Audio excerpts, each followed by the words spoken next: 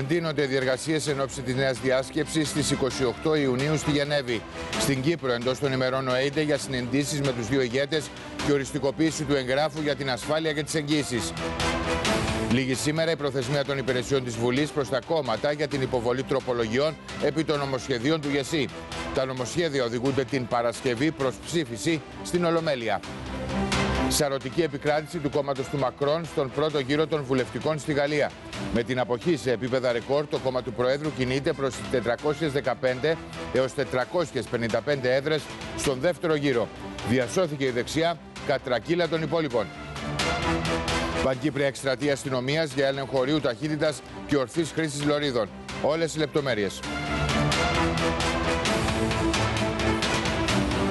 Καλό μεσημέρι κυρίες και κύριοι και καλή σας εβδομάδα. Μια εβδομάδα περί τα τέλη της οποίας αρχές της επόμενης αναμένεται να κοινοποιηθεί στις δύο πλευρές το προσχέδιο του κοινού εγγράφου για την ασφάλεια και τις εγγύσει, εκτιμούν κυβερνητικές πηγές. Την ίδια ώρα πυρετοδός συνεχίζονται οι προετοιμασίες όλων των εμπλεκόμενων μερών για τη Νέα Γενέφη.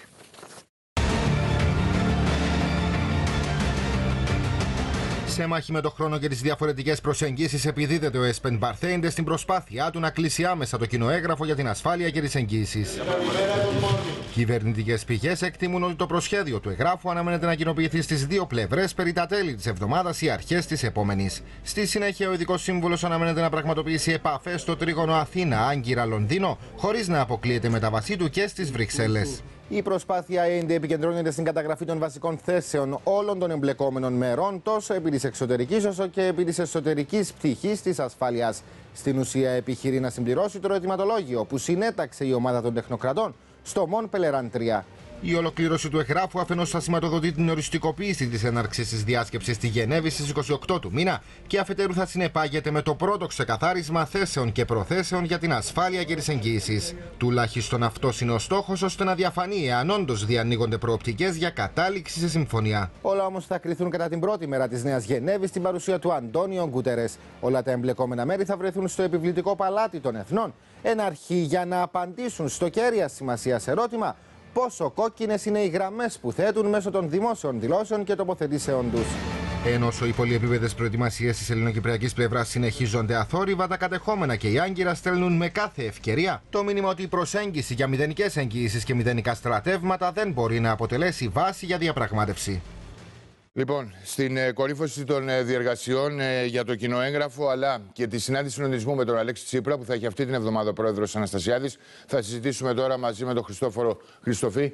Χριστόφορο, σε χαιρετώ και σε ακούμε. Καλό μεσημέρι, Θωμά, κυρίες και κύριοι. Είναι μια καθοριστική εβδομάδα σε ό,τι αφορά στο κοινό έγγραφο. Φαίνεται ότι το προσχέδιό του θα ολοκληρωθεί από μέρα σε μέρα και μέχρι το τέλος της εβδομάδας, αρχές της επόμενης, όπως ακούσαμε και στο ρεπορτάζ, αναμένεται να επιδοθεί ε, σε πρώτη φάση στις δύο κοινότητες, την Ελληνοκυπριακή και την Τουρκοκυπριακή, και σε δεύτερη φάση, δηλαδή έτσι όπως είναι ο αρχικός προγραμματισμός των Ηνωμένων Εθνών, ο οποίος σε κάθε περίπτωση ενδέχεται να αλλάξει ανάλογα με τις εξελίξεις. Σε δεύτερη λοιπόν φάση, την επόμενη ε, εβδομάδα, να, υπάρχει, να υπάρξουν υπάρξουν επαφές ε, του Έσπεν Μπαρθέντε στο τρίγωνο ε, Αθήνα-Άγκυρα-Λονδίνο και δεν αποκλείεται βεβαίως και μετάβασή τους στις ε, Βρυξέλλες. Αυτά σε ό,τι αφορά τις διεργασίες που έχουν να κάνουν με το κοινό έγγραφο. Κορυφώνονται και οι προετοιμασίες της δικής μας πλευράς για τη Νέα Γενέβη. Και στο πλαίσιο αυτό θα είναι η συνάντηση που είπες με τον Αλέξη Τσίπρα την Πέμπτη το απόγευμα στη Θεσσαλονίκη στο περιθώριο της ε, τριμερούς ε, συνόδου κορυφής ε, με το Ισραήλ. Ο πρόεδρος της Δημοκρατίας θα συναντηθεί με τον Έλληνα Πρωθυπουργό στην παρουσία των Υπουργών Εξωτερικών των δύο χωρών, προκειμένου να ανταλλάξουν απόψεις σε σχέση με το κοινό έγγραφο mm -hmm. αφενός και αφετέρου να συντονιστούν εν ώψη της νέας μετάβασης στη Γενέφη. Μάλιστα.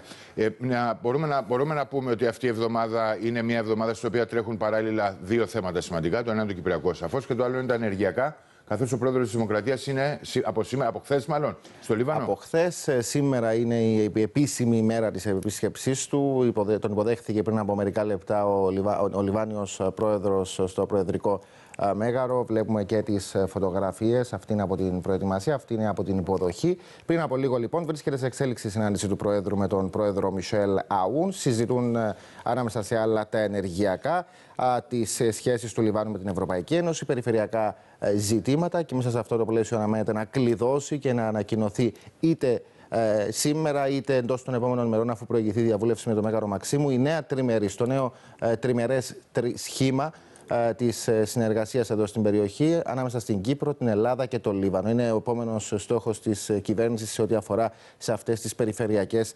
συνέργειες. Θα συζητηθούν επίσης βεβαίως το Κυπριακό, αλλά και οι διμερείς σχέσεις σε μια προσπάθεια περαιτέρω ενίσχυσής τους. Μάλιστα. Με την Κύπρο πάντως να είναι και σε όλα τα τρίγωντα που σχηματίζονται στην περιοχή να έχει πρωταγωνιστικό ρόλο και αυτό είναι πάρα πολύ σημαντικό. Στο ευχαριστούμε πάρα πολύ. Τώρα, να πάμε στις γαλλικές εκλογές, κυρίες και κύριοι. Σαρωτικός ο Μακρόν στις βουλευτικές εκλογές με ποσοστό 32,32%. Η συμμαχία του Μακρόν μπορεί να κερδίσει μέχρι και τα 3 τέταρτα των εδρών στην ε, κάτω βουλή μετά το δεύτερο γύρο. Πρέπει να πούμε ότι επίσης σημαντικό ήταν ότι ήταν η δεύτερη ήττα για τη Λεπέν μετά τις προεδρικές, ενώ ήταν και η ιστορική ήττα για τους σοσιαλιστές που ουσιαστικά φεύγουν από το πολιτικό σκηνικό, ενώ η ροζοσπαστική αριστερά πλήρωσε βαρύ τίμημα για, την, ε, για τη διάσπασή της. Ε, θα μας τα πει καλύτερα η Μαρία Ημασουρή. Καλό μεσημέρι, Μαρία. Καλό μεσημέρι, Θωμά. Σαρωτική ήταν η νίκη για το κόμμα του Εμμανουέλ Μακρόν στον πρώτο γύρο των βουλευτικών εκλογών, καθώς το προεδρικό κόμμα Republican Machek και ο σύμμαχό του Μοτέμ κατέλαβαν την πρώτη θέση με 32,32% των ψήφων.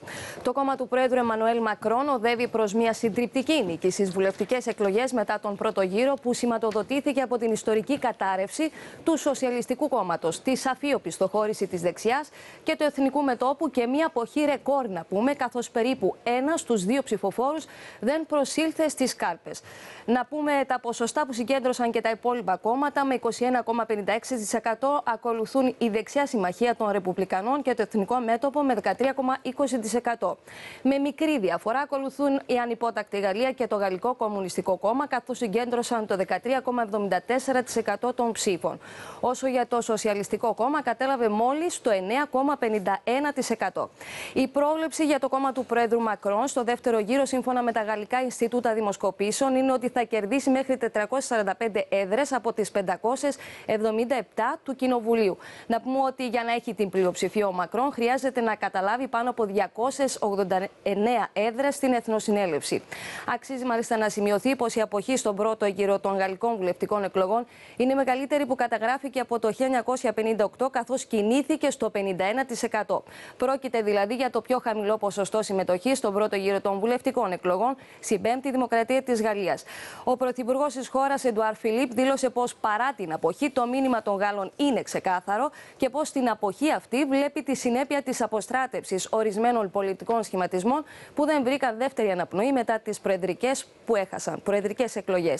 Να πούμε επίσης στο ότι ο δεύτερος γύρος και τελικός των βουλευτικών εκλογών στη Γαλλία θα διεξαχθεί την ερχόμενη Κυριακή. 18 του μηνός. Μαρία, ευχαριστούμε πάρα πολύ. Το φαινόμενο Μακρόν Σαρώνει, αλλά και ο ίδιος ο Μακρόν ε, είπε ότι τα πράγματα δεν είναι και τόσο καλά λόγω και της αποχής. Ευχαριστούμε πάρα πολύ. Τώρα, συναγερμός για ενδεχόμενο χτύπημα έχει σημάνει σε Ευρώπη και οι Ηνωμένες Πολιτείες μετά την πληροφορία ότι σκοτώθηκε σε βομβαρδισμό αρχηγός των τζιχαντιστών. Είναι ο νούμερο ένα καταζητούμενος στον πλανήτη και αν και δεν είναι η πρώτη φορά που διαρρέει μια παρόμοια είδηση, τα συριακά μέσα ενημέρωσης ισχυρίζονται ότι ο Αμπουμπάκρ Αλμπακντάτη έπεσε νεκρός στη Ράκα.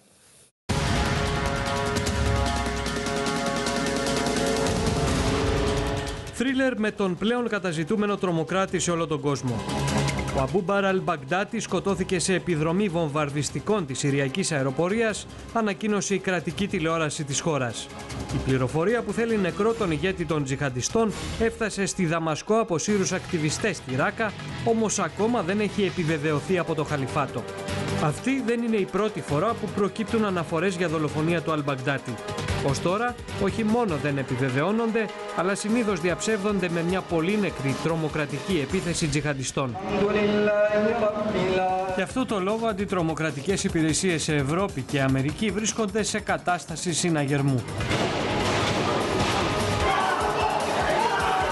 Νέε συγκλονιστικές λεπτομέρειες για τα σχέδια των τρομοκρατών της 3η Ιουνίου δίνουν σήμερα οι Βρετανικές αρχές. Υποστηρίζουν πως αφού δεν κατάφεραν να νοικιάσουν ταλίκα 7,5 τόνων ώστε να μιμηθούν τον τρομοκράτη της Νίκαιας, φόρτωσαν το λευκό βαν με σάκους από χαλίκι και καρέκλες για να αυξήσουν το βάρος του. Τοποθέτησαν 13 μπουκάλια γεμάτα με βενζίνη για να χρησιμοποιηθούν ως μολότοφ και δύο φωτοβολίδες για την ανάφλεξή τους.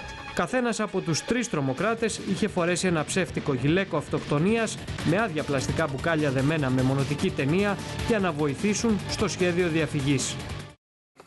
Πάμε στη Βουλή. Έληξε πριν από λίγο, περίπου 8 με 9 λεπτά, το τελεσίγραφο που έδωσαν οι υπηρεσίες της Βουλής προς τα κοινοβουλευτικά κόμματα σχετικά με την υποβολή τροπολογιών επί των νομοσχεδίων που αφορούν στην αυτονόμηση των δημόσιων νοσηλευτηρίων και την εφαρμογή του Γενικού Σχεδίου Υγείας.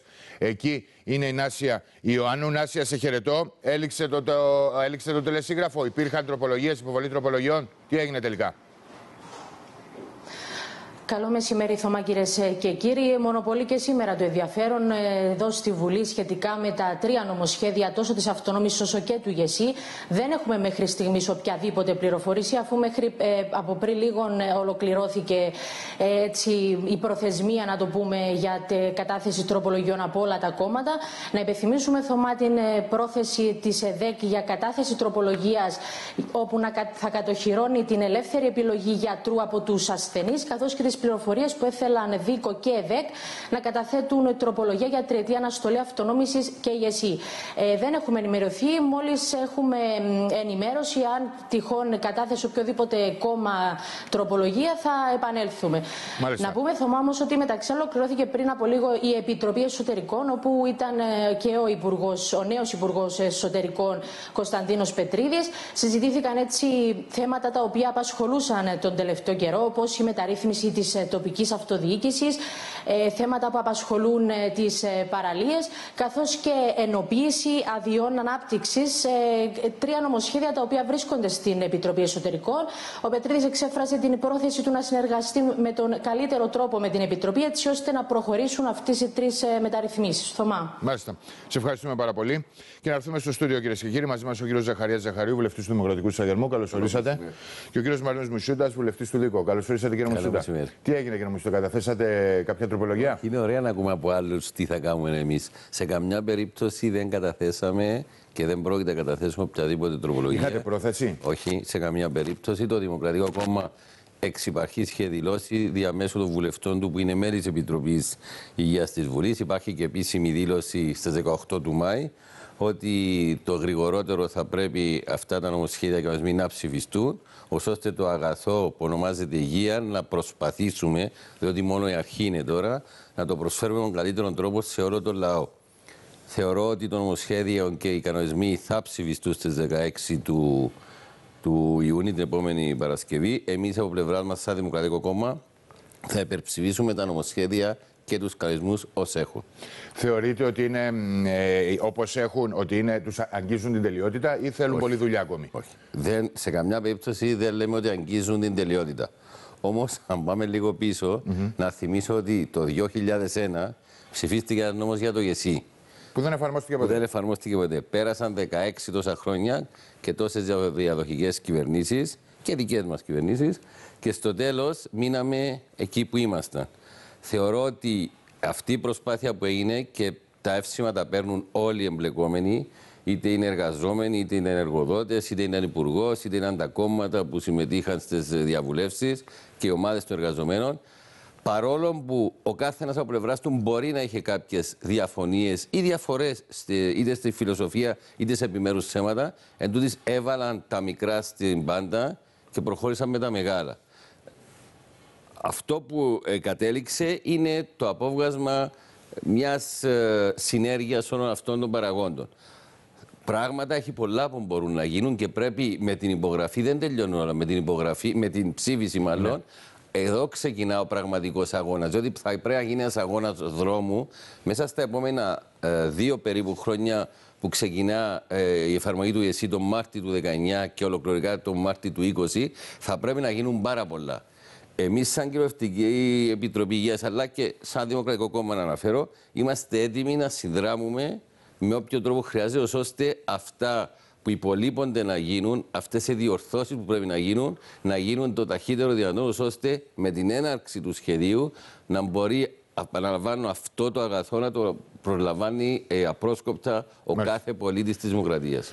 Κύριε Ζαχαρίου, να έρθω σε εσάς. Ε, ουσιαστικά από αυτά που λέει ο κύριος Μουσούτε, αυτό που αντιλαμβάνομαι εγώ είναι ότι θα, ε, έχει, ε, σηκώνει πολλές βελτιώσεις και το εκείνο που ρωτώ είναι γιατί τότε να μην γίνουν τροπολογίες. Γιατί αυτά τα πράγματα δεν συμφωνήθηκαν. Δηλαδή, θα πάμε στη Βουλή την Παρασκευή να το υπερψηφίσουμε και μετά να αρχίσουμε πάλι να έχουμε τα ίδια που είχαμε τον προηγούμενο καιρό, να συζητάμε για διορθώσεις; Ασφαλώς όχι. Α δούμε λίγο την ιστορία του ΓΕΣΥ. Θα δούμε ότι από τον Απρίλιο 2001 που ψηφίστηκε η φιλοσοφία και η βάση είναι αυτό που ψηφίζει σήμερα. Mm-hmm.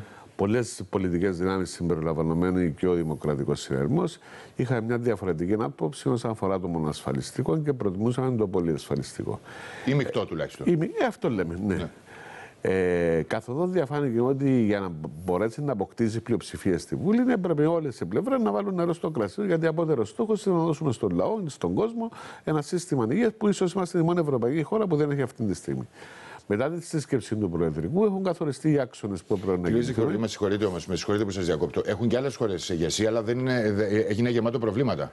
Ναι, ναι, μα σίγουρα τις εμπειρίες των άλλων χωρών τις έχουμε μελετήσει και έχουμε προσαρμόσει αρκετά πράγματα για να μην mm. έχουμε εμείς τα ίδια. Με βάση τη συμφωνία του Προεδρικού όλων των πολιτικών κομμάτων, ε, προχώρησε στη Βουλή, προχώρησε η κυβέρνηση βάσει δέσμευση στην κατάθεση του νομοσχεδίου από τον περασμένο φθινόπωρο. Υπήρχε ένα αγώνα δρόμο να τους ακούσεις τους πάντες με τις εστάσει, τις εισηγήσεις και τις απόψεις τους. Ε, φαίνεται ότι αυτή τη στιγμή πάμε την Παρασκευή για να το ψηφίσουμε ομόφωνα, δόξα ο Θεός. Ε, σίγουρα η ζωή κυλά και ως που κυλά οι απαιτήσεις γίνονται πιο έντονες και μπορείς σε κάποιο βάθο να χρειάζονται και τροποποιήσει, δεν έχει σημασία. Αν έμπλεκε αυτή τη στιγμή σε κάποιες τροποποιήσει που έχουν συζητηθεί τα πάντα από το φθινόπωρο μέχρι σήμερα μεταξύ. Mm-hmm. Γιατί και αυτό που ακούστηκε για ελεύθερη επιλογή γιατρού όσον αφορά την πρωτοβάθμια εκπαίδευση δεν είναι χτεσινό. Είναι από το 2001 στον νόμο Δεν αυτό. είναι καλό όμως αυτό. Να σας πω ένα πράγμα. Η φιλοσοφία του σχεδίου δεν μπορεί να έρχεται δεύτερη εβδομάδα πριν την ψήφιση να αλλάξει γενικά τη φιλοσοφία. Τι είναι αυτό το οποίο ετέθηκε και φώναζε ο Υπουργός και στο Δέσο ευτυχώς που φώναξε και σιωπήσαν όλοι και πάμε προς την ψήφιση. Έκανε κίνηση μάτω ο Υπουργός. Έκανε κίνηση μάτω και τους έδεσε όλους. Τι είναι εκείνο; Από το 2001 μιλούμε ότι η βάση του σχεδίου είναι οικογενειακός γιατρός. Και σε κάθε οικογενειακό γιατρό για να μπορεί να εξυπηρετεί τους ασθενείς, βάλαμε μια οροφή. 2.000 ασθενείς. Ερχόμαστε αυτή τη στιγμή, τελευταία εβδομάδα, να ακούνται ψηφίρια τροποποίηση ελεύθερη επιλογή του γιατρού, που πάλι είναι ελεύθερες γράφε στο γιατρό, δεν είναι υποχρεωτική, αλλά ο ένα να έχει 3 και 4 χιλιάδε που να μην μπορείς να εξυπηρετήσει, και άλλο να έχεις 500. Αυτό θα δίνει σε όλο το σύστημα στον αέρα. Αυτά που υποθήκαν όλες τις τελευταίες μέρες που είδαμε τα έγγραφα είναι αστεία. Είναι από 2001 στον νόμο. Η κίνηση του Υπουργού. Ήταν 1500 μάλιστα. Α; Ήταν 1500, πήγαν 2.000 τώρα. 2.500 ακόμα χιλιάδες. Ε, η κίνηση που έκανε ο Υπουργός νομίζω ότι έφερε τα πράγματα ξανά σε μια σωστή βάση. Προχωρούμε, ψηφίζουμε το. Σίγουρα θέλει πάρα πολύ δουλειά. Είναι η αρχή, είναι η αρχή της έναρξης του ΙΕΣΥ, αλλά δεν είναι το ΙΕΣΥ αυτή τη στιγμή. Μιλούμε για ορόσημα δύο ημερομηνίες, τον Μάρτιο του 2018 και τον Μάρτιο του, το Μάρτιο του 2019, για να μπορέσουμε σταδιακά να λειτουργήσει ε, το ΙΕΣΥ. Εκείνο το οποίο έχει σημασία αυτή τη στιγμή είναι να σταλεί το μήνυμα ή στου πολίτες ότι αυτό που οφείλαμε να του δώσουμε τόσο καιρό, επιτέλους θα το δώσουμε. Και θα το δώσουμε και μονιασμένοι στο τέλος της ημέρας, γιατί θεωρώ ότι κρινόμαστε όλοι από τους πολίτες. Και τα εύσημα πρέπει να δοθούν στους πάντες, και στην κυβέρνηση και στα πολιτικά κόμματα και στους συντεχνιακούς και σε όλους. Τελικά βρέθηκε μια χρυσή δομή. Αυτή η χρυσή δομή πρέπει να την εκμεταλλευτούμε. Διότι κυρίαρχος σε αυτή την προσπάθεια δεν είναι ούτε οι συντεχνίες, ούτε τα πολιτικά κόμματα, ούτε η κυβέρνηση. Κυρίαρχος στόχος είναι η εξυπηρέτηση των Κυπρίων ασθενών. Και είναι κρίμα και άδικο. Εμείς που ζούμε καθημερινά, που έχει ο κόσμος κοντά μας και ζούμε τα προβλήματα, δυστυχώς, εάν συνεχίσουμε όπως είμαστε και κυνηγώντας το τέλειο, θα είμαστε στο σημείο να βλέπουμε ανθρώπους να πεθαίνουν στα νοσοκομεία. Έχουμε υποχρέωση έχουμε υποχρέωση να δούμε αυτά που μας ενώνουν. Και αυτό που μας ενώνει είναι να δώσουμε ένα σύστημα στον κόσμο να μπορεί να εξυπηρετείται ορθά και να έχει την, την απαιτούμενη καλή ε, παροχή ιατρικών υπηρεσιών. Α μην ξεχνάτε ότι είμαστε η μοναδική στην Ευρώπη που δεν έχουμε σύστημα υγείας αυτή τη στιγμή. Κύριε Μουσούδα, θεωρείτε να πείτε ό,τι θέλετε, αλλά θα ήθελα να θέσω ακόμη ένα ερώτημα. Μιλήσαμε για το 2001 και για 16 χρόνια μετά. Μιλήσαμε, έχουμε ακούσει ότι ήταν μνημονιακή υποχρέωση, πέρασε το μνημόνιο, δεν εφαρμοστήκε το, το ΓΕΣΥ. Σε 16 χρόνια μετά, θα, θα υπάρχουν άνθρωποι που θα κάθονται σε αυτές εδώ τις θέσεις και θα ξανασυζητάνε για το ΓΕΣΥ. Πιστεύετε ότι αυτή τη φορά μπήκε το νερό στα βλάκια; Θεωρώ ότι και η κοινωνία και τα κόμματα έχουν αντιληφθεί στο έπακρο τη σημασία του να βελτιωθούν στο μέγιστο δυνατό βαθμό οι, οι, οι προσφέρειε υπηρεσιών υγείας στον κόσμο. Και εφόσον επιλέχθηκε το σύστημα αυτό και είναι μονόδρομος, θα πρέπει να το ακολουθήσουμε και να βρούμε τρόπους που με την εφαρμογή και την πρακτική θα δεις τα μειονεκτήματα που υπάρχουν για να τα διορθώσεις.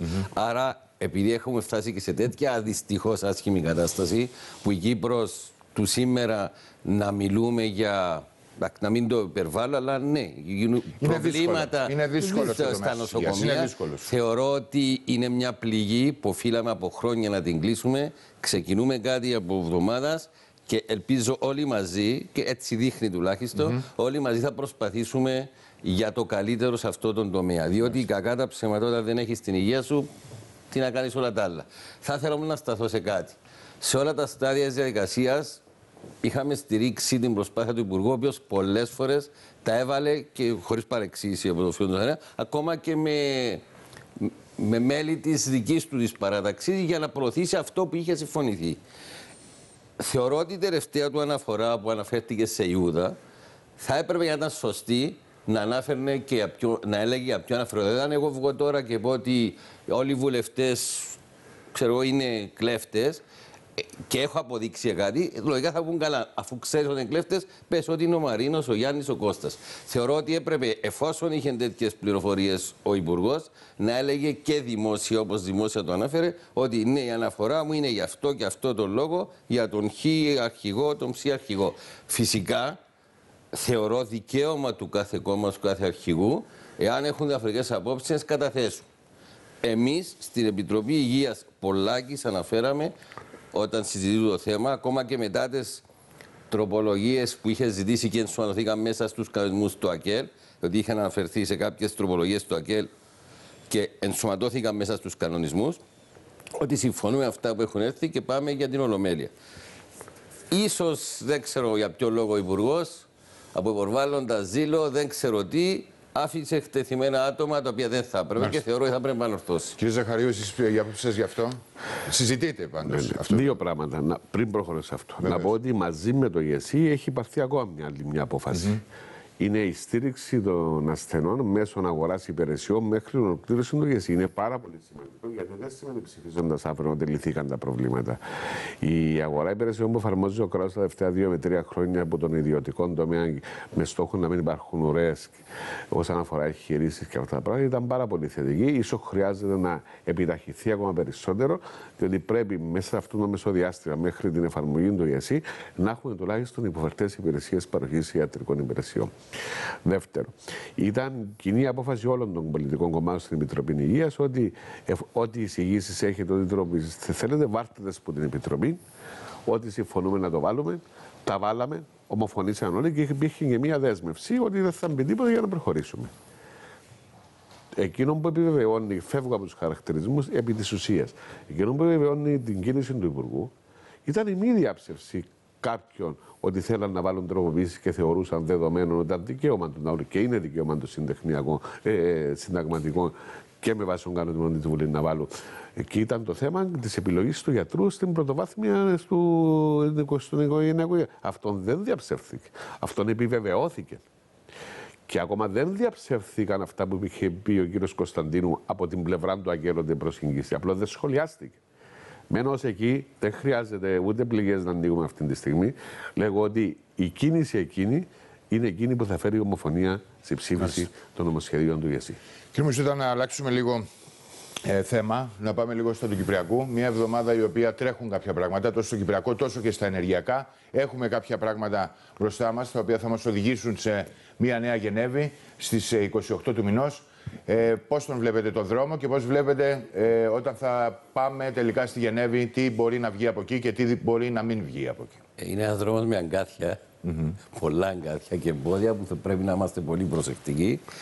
Δυστυχώς, ε, ενώ η προσδοκία και με δηλώσεις του Πρόεδρου στις 22 του Μάη ήταν ότι πάμε, ναι, να πάμε στη Γενέβη, πολύ ευχαρίστως να πάμε, για να συζητήσουμε και να κλείσουμε το, σε ακτίνα συμφωνίας είχε πει στο τέλος για το εδαφικό, εγγυήσεις και μετά συζητήσουμε τα άλλα. Αυτό που φαίνεται να, να πάει να γίνει στη Γενέβη είναι ότι θα συζητούνται παράλληλα και τα, όλα τα θέματα.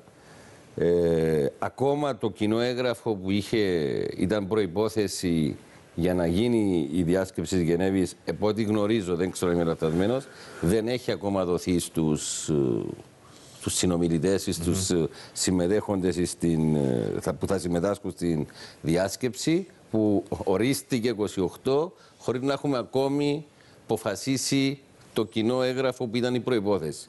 Ε, σήμερα έχουμε 12 του μηνός, υπάρχουν 15 μέρες. Ο κύριος Σάιντα θα προσπαθήσει πηγαίνοντας σε όλα τα Ελλάδα, Τουρκία και Κύπρο να εξασφαλίσει αυτά που χρειάζεται για να γίνει η διάσκεψη. Θεωρώ όμως ότι και ο ρόλος του κύριου Άιντα, που δυστυχώς ακόμα και ο πρόεδρος τον είχε καταγγείλει στο Εθνικό Συμβούλιο το ρόλο του, ότι δεν μας βρίσκει πολύ, πολύ αισιόδοξους ότι. Γέρνει προς τη μία πλευρά, εννοείται. Αυτό είχε δείξει με δημόσιες δηλώσεις του κύριο Σάιντα ότι θυμάστε, είχε βάλει στο τραπέζι να συζητηθούν οι τέσσερις ελευθερίες ή πήγε να κάνει προώθηση της θέσης των τεσσάρων ελευθεριών που είχε βάλει η τουρκική πλευρά στην Ευρώπη. είναι ένας υπάλληλος των Ηνωμένων Εθνών. Εκτελεί κάποιες οδηγίες. Θεωρώ ότι έχει ξεφύγει από κάποιες οδηγίες. Πρέπει να, να είμαστε πολύ προσεκτικοί και το κυριότερο θα πρέπει να πηγαίνοντας στη Γενέβη να ενεργήσουμε με τέτοιο τρόπο ούτως ώστε να μην μπορέσει η άλλη πλευρά να πηρύψει εμάς τις ευθύνες. Νομίζω κάναμε ό,τι έπρεπε να κάνουμε και από εκεί και εκεί δεν έχει άλλα περιθώρια σαν ε, ελληνοκυπριακή πλευρά να προβούμε σε άλλες. Να υποπαραχωρήσει σε άλλες συμβιβασμούς. Να το πω πιο ελαφριά λέξη. Πιστεύω όμως σε κάτι άλλο ότι ακόμα δεν είναι σίγουρο ότι θα, θα γίνει η Γενέβη. Με την εξής έννοια. Εφόσον αυτά που έπρεπε να συμφωνηθούν δεν συμφωνηθήκαν, εφόσον με αυτούς που έπρεπε να μιλήσει δεν μίλησε ακόμα, με όλους τουλάχιστον, ε, διερωτώ πού βρίσκεται αυτή η βεβαιότητα ότι είναι, βαίνουν όλα καλά και θα πάμε στις 28 στη Γενέβη. Σαν ελληνοκυπριακή πλευρά είμαστε έτοιμοι να πάμε. Δεν λέω ότι δεν πρέπει να πάμε. Όμως, εάν ισχύουν αυτά που λέχθηκαν ως προποθέσει, ε, ε, διαρωτούμε πού βρίσκεται αυτή η εφορία από πλευράς του κύριου Άιντα. Κύριε Ζαχαρίου. Να σημειώσω κάποια σημεία τα οποία πρέπει να έχουμε υπόψη σε έναν διάλογο. Ποια ήταν η στόχευση της δικής μας πλευρά με τις τελευταίες κινήσεις που είχαν κάνει; Να επαναφέρουμε ως πρώτο θέμα ξανά τα θέματα ασφάλειας, εγγυήσεων ε, και στρατευμάτων τουρκικών στην Κύπρο. Πράγμα το οποίο φαίνεται ότι η συγκεκριμένη τακτική ήταν πετυχημένη, γιατί και στην ανακοίνωση των Ηνωμένων Εθνών είναι ξεκάθαρο ότι το βάζει πρώτο για να συζητήσει. Δίχως να σημαίνει ότι δεν θα συζητήσει άλλα. Ακολουθήσαμε δύο χρόνια συνομιλιών, κοιτάζοντας περισσότερο την εσωτερική διακυβέρνηση. Πήγαμε στη Γενέβη και πήγαν και εγκύτρες δυνάμεις για πρώτη φορά να συζητήσουν αυτά τα πράγματα. Ουδέποτε ξανακαθίσαν να συζητήσουν. Και μετά πήγαμε στη σύσκεψη των τεχνοκρατών, αν θυμάστε. Το προσζήμιν της κοινή δήλωσης για τη σύσκεψη της Γενέβης είναι ήδη έτοιμο από τη σύσκεψη των τεχνοκρατών. Γι' αυτό και ξεκινούμε βάσει εκείνων των προσζήμιν. Γίνονται επαφές και με την Ελλάδα και με την Τουρκία και με την Αγγλία.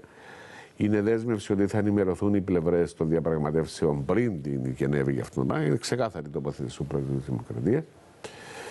Και ευελπιστούμε ότι θα μπορέσουμε να πάμε στη Γενέβη και να ξεκαθαρίσει επιτέλους, έχει προοπτική να λυθεί το κυπριακό πρόβλημα. Κυπριακό πρόβλημα είναι παρουσία όλων των στρατιωτών στην Κύπρο με εγγύηση του 67 πράγμα δεν λύεται. Ξεκάθαρο αυτά τα πράγματα. Ο κόσμος έχει αλλάξει.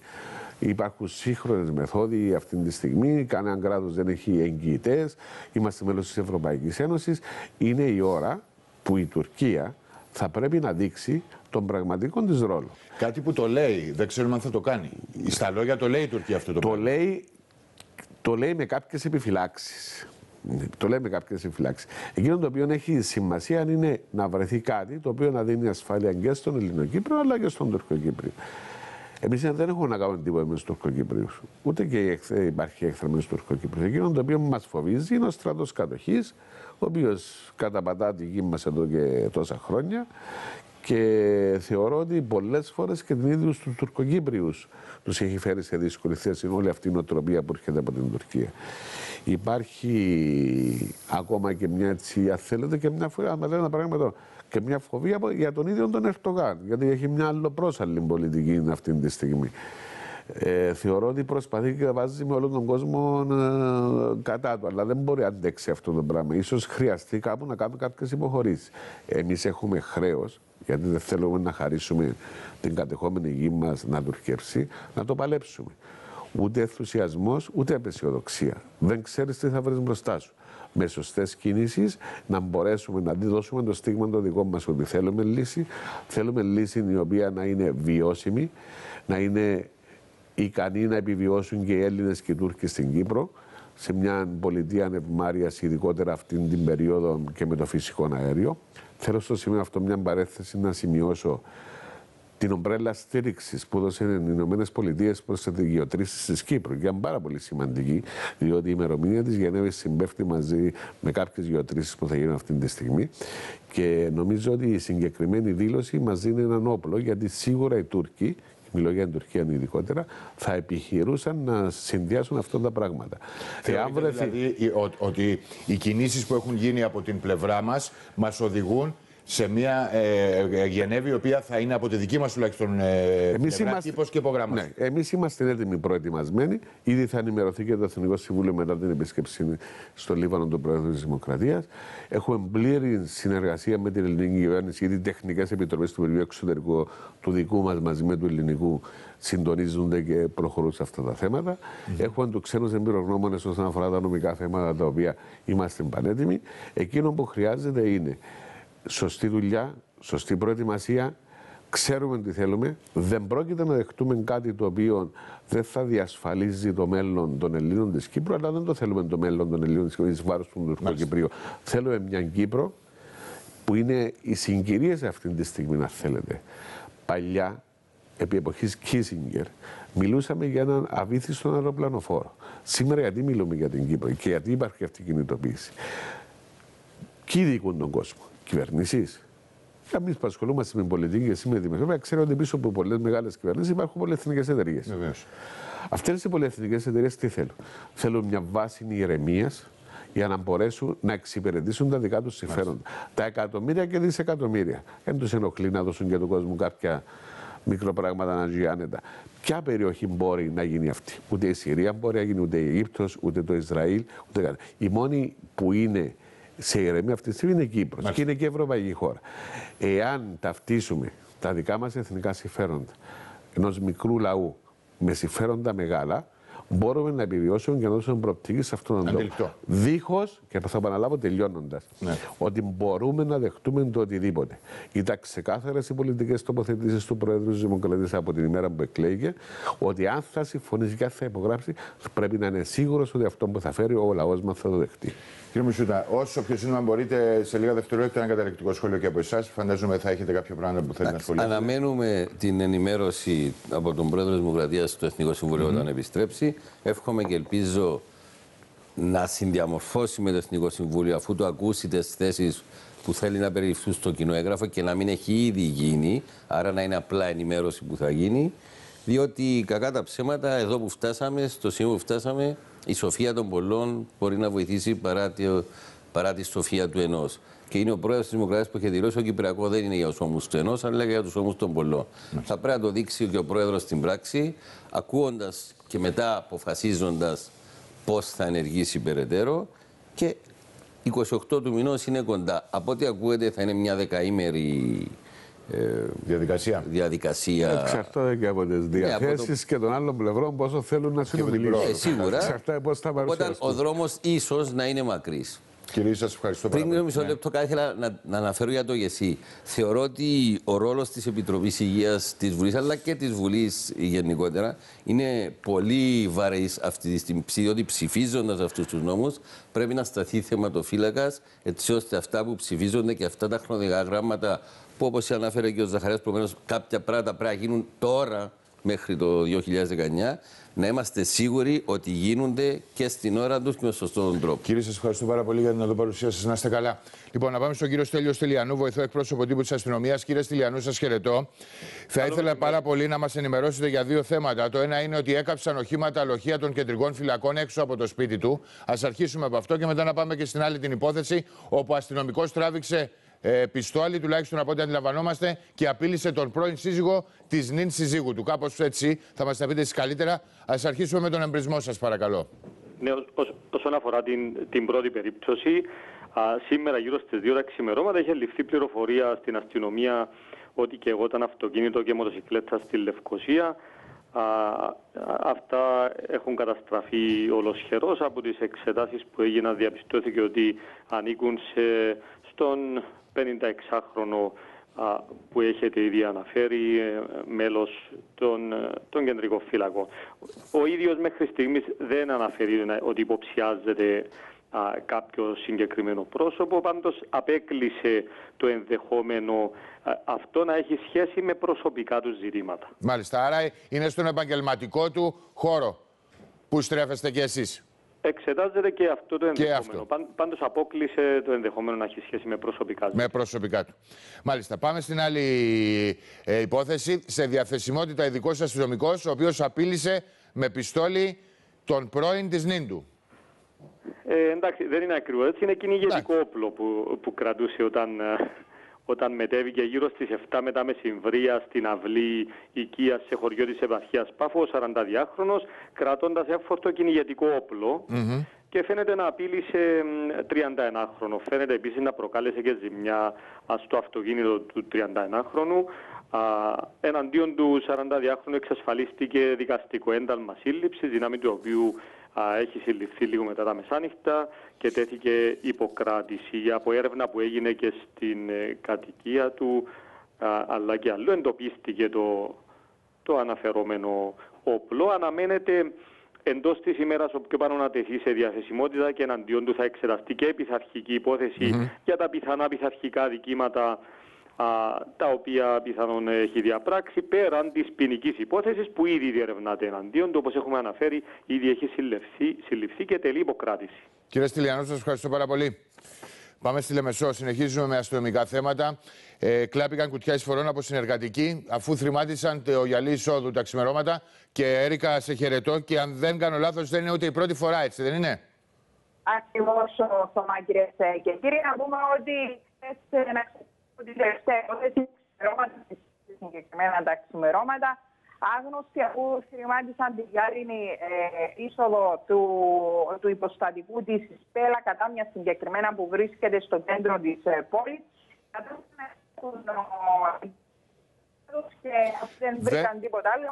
Δεν την ακούμε καλά την Έρικα. Παρακαλώ να την ξαναπάρουμε. Πάμε στον κύριο Παπαϊλία. Έρικα, θα επικοινωνήσουμε μαζί σου σε λίγο. Να πάμε στον κύριο Παπαϊλία, βοηθός διευθυντής τροχιάς αρχηγείου. Κύριε Παπαϊλία, γεια σας. Αρχίζεται από σήμερα μια παγκύπρια εκστρατεία ελέγχου ορίου ταχύτητας, που από ό,τι αντιλαμβάνομαι είναι μία από τις κύριες αιτίες ε, των θανατηφόρων ε, τροχιών δυστυχημάτων. Θα διαρκέσει μέχρι πότε και τι θέλετε να πετύχετε με αυτή την εκστρατεία; Καλό μεσημέρι, καλό μεσημέρι για στους τηλεθεατές σας. Ναι, όπως είπατε, από σήμερα αρχίζει η εκστρατεία ελέγχου ταχύτητος είναι από σήμερα μέχρι τις 18 του μηνός και να αναφέρω ότι είναι η τέταρτη για φέτος εκστρατεία με τη διενέργεια ελέγχων ταχύτητος. Και όπως θα επίσης αναφέρεται είναι μία από τις κυριότερες αιτίες που προκαλούνται οι θανατηφόρες και σοβαρές τροχαίες οδικές συγκρούσεις. Έτσι θα εστιαστούμε για αυτήν την εβδομάδα πάνω στην ταχύτητα και σίγουρα και σε άλλες τροχαίες παραβάσεις που θα ε, υπάρξουν και σε αυτές θα γίνουν καταγγελίες. Και εκ το άλλο, μια, ε, έτσι ένα παρακλάδι αυτής της εξτρα, εκστρατείας σας είναι ε, φαντάζομαι και η, η σωστή οδήγηση πώς να χρησιμοποιούμε τις λωρίδες που προφανώς για να το κάνετε δεν ξέρουμε ακόμη, έτσι δεν είναι; Ναι, έχουμε εντοπίσει ότι δυστυχώς αρκετοί οδηγοί δεν συμμορφώνονται ή δεν ξέρουν, δεν γνωρίζουν, δεν λαμβάνουν Δεν τους ενδιαφέρει; Ε, και έτσι είπαμε να γίνει μια εκστρατεία, ιδιαίτερα εδώ που υπάρχουν οι τρεις λωρίδες κυκλοφορίας από τη Λευκοσία μέχρι το Περαχωρίον και αντιθέτως και έτσι θα δώσουμε εκεί σημασία και να αναφέρω ότι έχουν υποχρέωση οι οδηγοί ότι πρέπει να οδηγούν στην αριστερή λωρίδα κυκλοφορίας.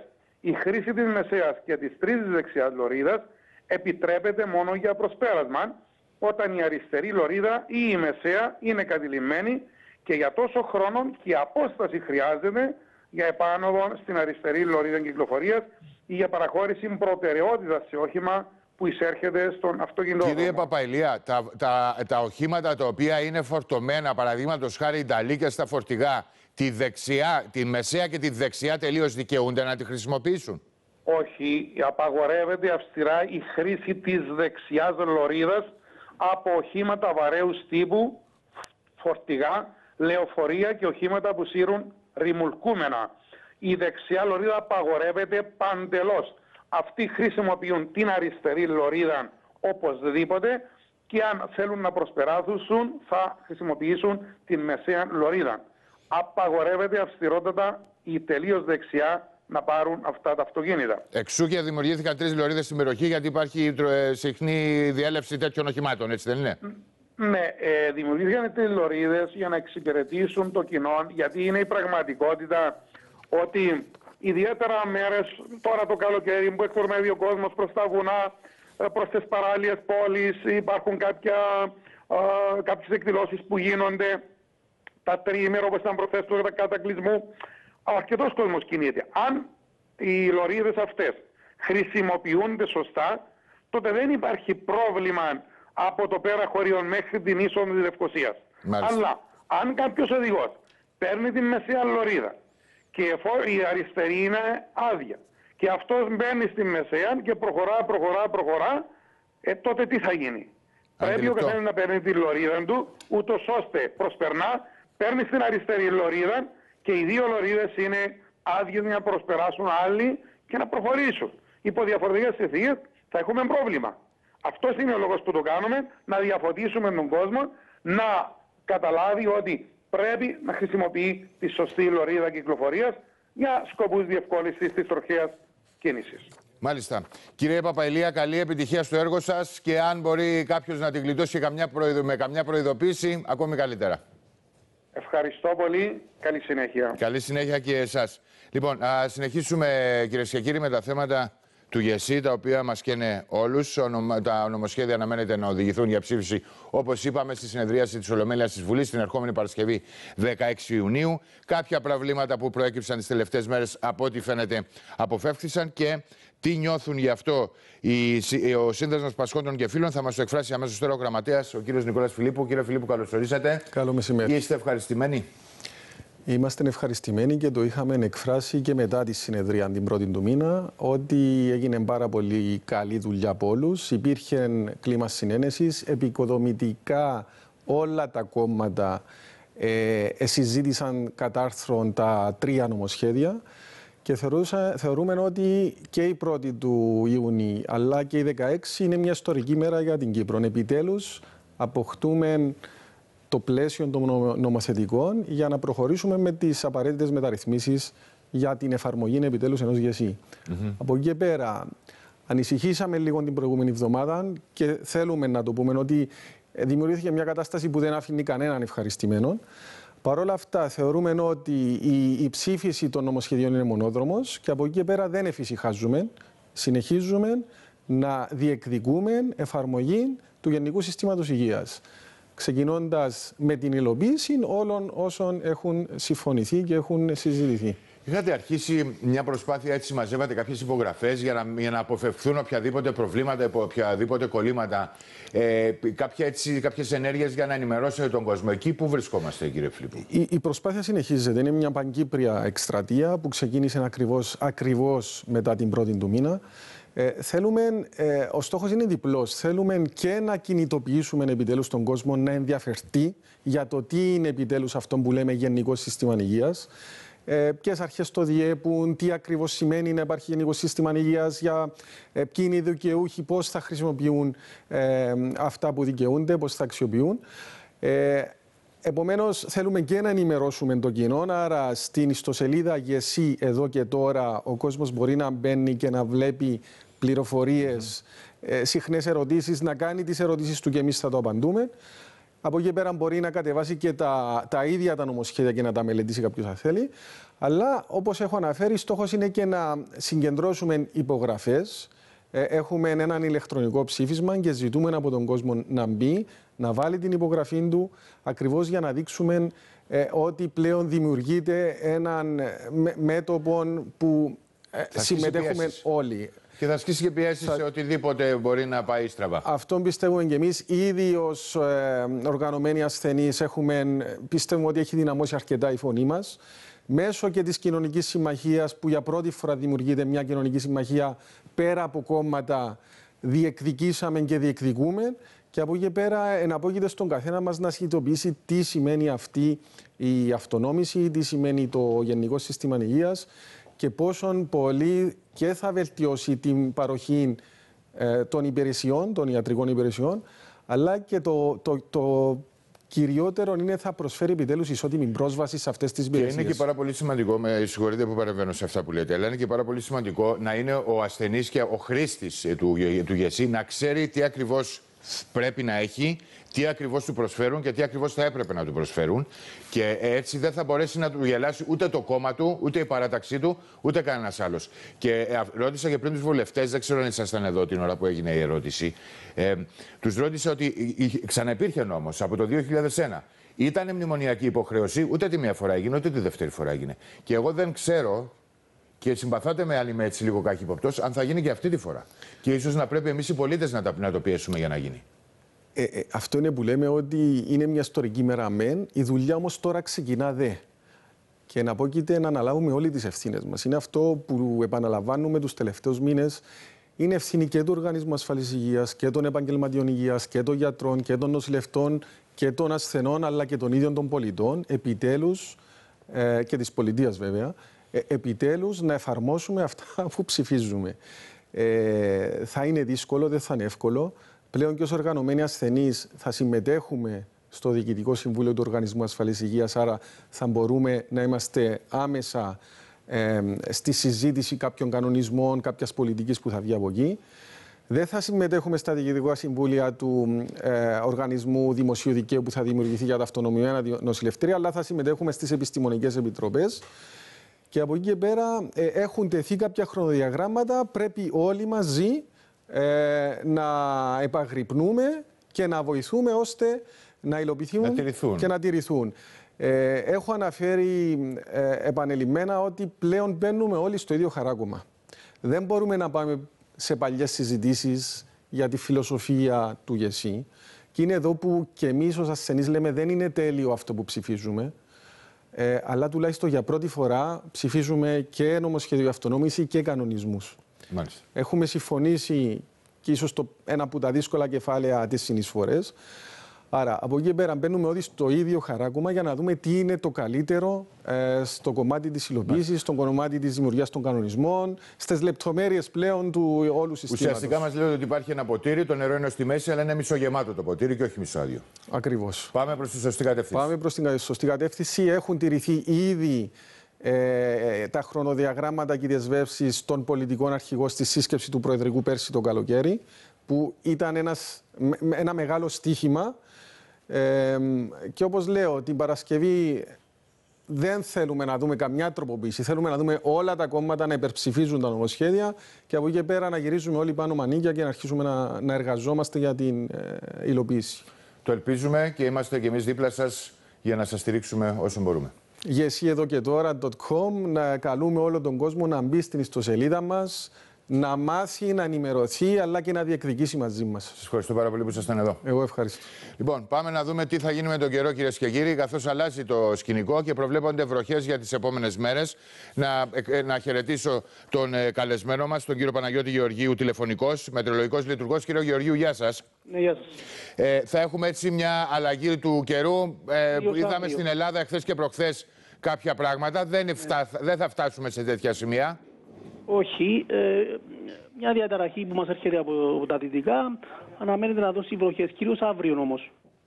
Ε, σήμερα και οι επόμενες μέρες, Τετάρτη μέχρι την Παρασκευή, δεν αναμένεται κάτι. Ε, αύριο μιλούμε για τα ορεινά και το εσωτερικό, ίσως και στα δυτικά παράλια. Ε, μετά το μεσημέρι.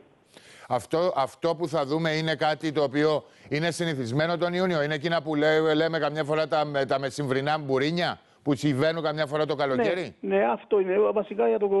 συμβαίνουν μέσα στο καλοκαίρι, είναι ακόμα και τους άλλους μήνες. Ιούλιο και Αύγουστο, Αύγουστο συμβαίνουν. Ε, Κυρίως όμως ε, ε, λόγω της ορογραφίας του τρόδους ε, ε, στα ορεινά και της ε, έντονης θέρμασης ε, του αέρα κοντά στο έδαφος για το εσωτερικό. Ε, συμβαίνουν όμως και το καλοκαίρι. Αυτό, θα, αυτό το φαινο, αυτά τα φαινόμενα, η βροχή τέλος πάντων, να μην λέμε φαινόμενα, γιατί μπορεί να παρεξηγηθεί Ναι. η λέξη. Αυτή η βροχή θα είναι παροδική της μιας ώρας ή μπορεί να μας κρατήσει ολόκληρη τη Μιλούμε μέρα για από, μετά από την ώρα το που θα μεσημέρι αρχίσει. μέχρι αργά το απόγευμα, ε, μέσα σε αυτό το εξάωρο βασικά. Έξι ώρες και μετά Μπορεί να ξανά μην είναι στο συνεχόμενη, ξενικό που να ξέρουμε, είναι ζέστη, παροδική. ήλιο κτλ. Συγγνώμη. Και τα- από- μετά από το εξάωρο αυτό θα πάμε σε έθριο καιρό και την επόμενη μέρα ζέστη, Μάλιστα. ήλιος και να τρέχουν. Τα- Το, το, τις επόμενες μέρες ε, μετά το μεσημέρι πάλι θα παρατηρούνται κάποιες νεφώσεις, Μμμ. ε, αυξημένες στα ορεινά και το εσωτερικό, αλλά δεν αναμένεται βροχή. Μάλιστα. Ε, Οι βροχές είναι η καταιγίδα για αύριο, μιλούμε για αύριο, αυτό το Για εξάωρο. Σας ευχαριστώ πάρα πολύ, κύριε Γεωργίου. Είστε καλά. Και από τον καιρό πάμε στα αθλητικά μαζί μας ο Νίκος Κατσαρός. Νίκος, σε χαιρετώ και σε ακούμε. Καλό μεσημέρι, Θωμά, κυρίες και κύριοι. Την πρώτη επίσημη προπόνηση πραγματοποίησε η ΑΕΚ, η αποστολή της οποίας στα ξημερώματα αναχώρησε με προορισμό την Πολωνία, όπου θα διεξαχθεί το βασικό στάδιο προετοιμασίας. Παίκτης του Απόλλωνα πρέπει να θεωρείται ο Αντρέ Κέμπρι, ενώ παρελθόν από τον πάγκο της Εθνικής Κύπρου αναμένεται να αποτελέσει ο Χριστάκης Χριστοφόρου. Και επίσημα σε περίοδο προετοιμασίας η ΑΕΚ, ο Ιμανόλη Ντιάκεθ γύμνασε για πρώτη φορά τους ποδοσφαιριστές του στην παρουσία κόσμου που βρέθηκε στο γήπεδο για να δει και να χειροκροτήσει την ομάδα. Συνολικά 23 ποδοσφαιριστές έδωσαν το παρόν τους, ανάμεσά τους και τα δύο μετεγραφικά αποκτήματα Κάρλες Σόρια και ο Νησίφορος Τρουσά. Οι διεθνεί Γιοργαλίδης, Χαραλαμπίδης, Εγκλέζου, Τρισκόφσκι, Μοϊσόφ και Μαλόκου απουσίαζαν κατόπιν άδειας που πήραν από την τεχνική ηγεσία.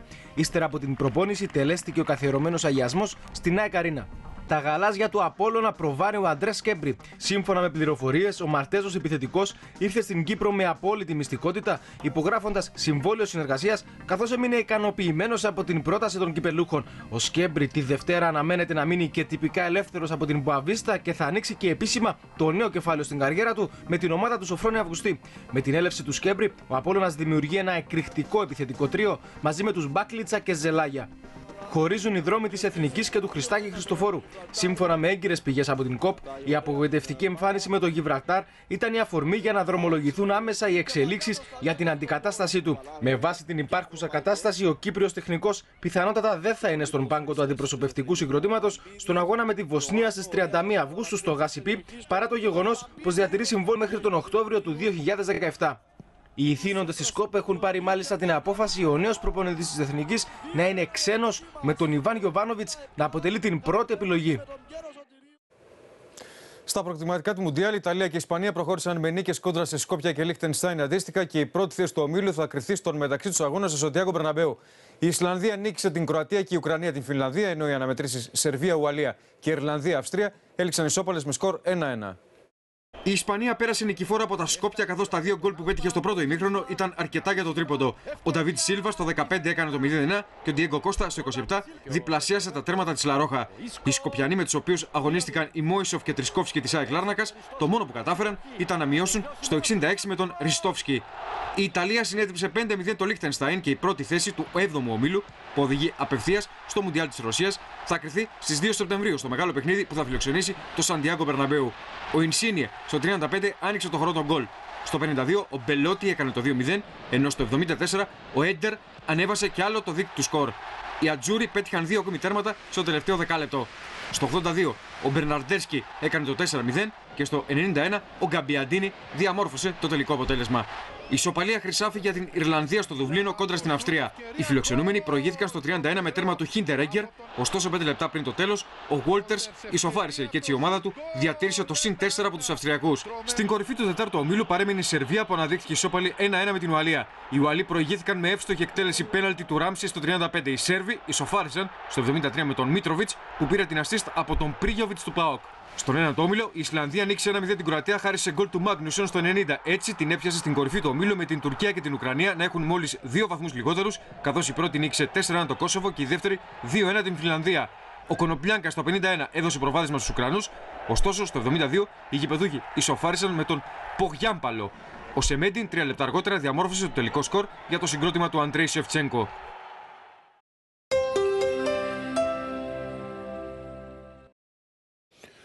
Επιστρέψαμε κυρίες και κύριοι και πριν σας αποχαιρετήσουμε να παρακολουθήσουμε την πρόγνωση για τον καιρό. Το βράδυ ο καιρός ήταν κύριος έθριο. Στι αυγινές κύριο ώρες πιθανώς σχηματιστούν τοπικά χαμηλές νεφώσεις και ρεϊομίχλη. Η θάλασσα θα καταστεί σταδιακά ηρέμη μέχρι λίγο ταραγμένη. Η θερμοκρασία θα πέσει γύρω στους 19 βαθμούς στο εσωτερικό, τα νότια και ανατολικά παράλια και γύρω στους 17 βαθμούς στα υπόλοιπα παράλια και τα ψηλότερα ορεινά. Στο σημείο αυτό το δελτίο μας ολοκληρώθηκε. Η επόμενη ενημέρωση από τον Α γύρω στις 6 και 10. Κυρίες και κύριοι, καλή συνέχεια να έχετε.